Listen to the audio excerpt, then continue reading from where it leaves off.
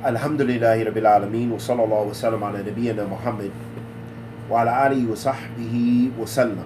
Amma ba'da. Ahabati fillah from the narrations of the Salaf al-Salih, Ridwanullahi alayhim, comes the narration of Ibn Sirin, rahimahullah ta'ala, with regards to envy and why we need to avoid this negative and wicked trait. And the only permissible time, if you will, if we refer to it as envy, that you should be jealous of someone, for example, is with regards to their religion and the good that they do. And in fact, this is not an envy because hasad is a negative trait. But this is a wishing that you had that ni'mah so that way you could do like them or better. For example, look at the service that the brother, without knowing much about him, uh, I think his name was Ali Banat or something similar to this. May Allah subhanahu wa ta'ala have mercy upon him, forgive him of his sins, and bless him with Jannah Firdaus. I mean, Ya Rabbil Alameen, for what he did. So, to wish that you had the wealth that he had, to be able to spend it in the cause similarly, similarly to him, is not a negative trait. Or to wish that you had ilm, like the ulama, so that way you could call the people to the book of Allah and the sunnah of the messenger of Allah sallallahu alaihi wasallam without taking away the knowledge of that alim or that da'i or what have you, then this is something khair. To pray for this and want this. But envy is to want to izalat ni'ma an ghair. It is to want to remove the the blessing or favor that someone else has. It's wanting to remove that that blessing. And maybe wanting it for you. So for example, instead of wanting something good that you say, look at my neighbor, his car is so nice. I hope that he has an accident. But this is an example. Or I hope his car, you know, breaks down or something like this, and I can have a car like that, or I, I can get his car, or whatever the case may be. It is wanting to remove the good from someone else. This is madmoom. This is the negative trait. Listen to this narration of our Salaf, uh, Ibn Sirin, rahmatullah alayhi, rahmatul wasi. He said, Ma hasadtu rajulin qat. He said, I never had hasad or you know this envy for a, a man ever you know for any person ever.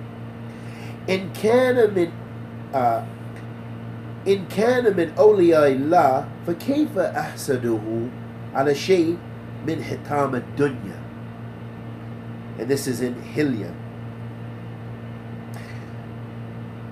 Imam Ibn Sirin he said I never had envy for any person ever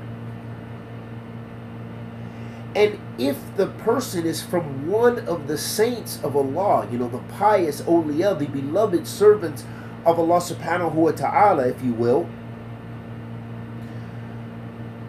then how could I have envy towards him upon anything with regards to anything which is from the ruins of the dunya?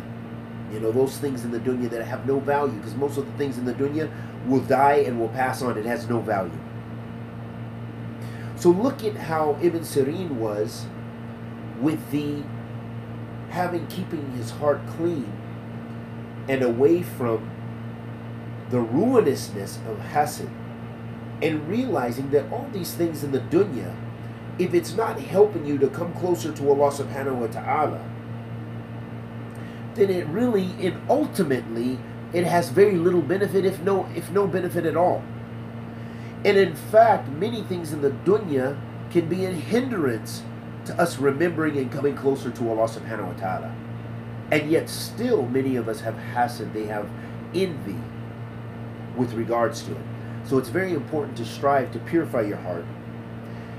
Remind yourself of the ni'amillah, the blessings that you have, and look to those beneath you. Look to those people who have no home. Look to those people who live on the street. Look to those people who are infected with not one disease, but diseases. and poverty and sickness. And if they had children, can't even begin to take care of their children. Instead, some of them may even give their children away or sell their children or do the most heinous things. But the point being is look to those people who are beneath you, that don't have the blessings that you have. Don't look to those people who are above you, meaning above you in either some worldly status or world or, or wealth and so forth, unless it is those people who Allah has favored with khair to do good and you want to, for example, memorize the Quran like them to be able to teach others, or you want to gain knowledge to be able to teach others like them, or you want the wealth that they have or more in order to spend it in Allah subhanahu wa ta'ala's cause, or you want whatever they have of, uh, of, of goodness, that they were a great mujahid, so that way you could be strong like them to go in the cause of Allah subhanahu wa ta'ala fi sabilihi. And we ask Allah the Almighty to accept our good and forgive our evil. وصلى الله وسلم على نبينا محمد وعلى آله وصحبه وسلم.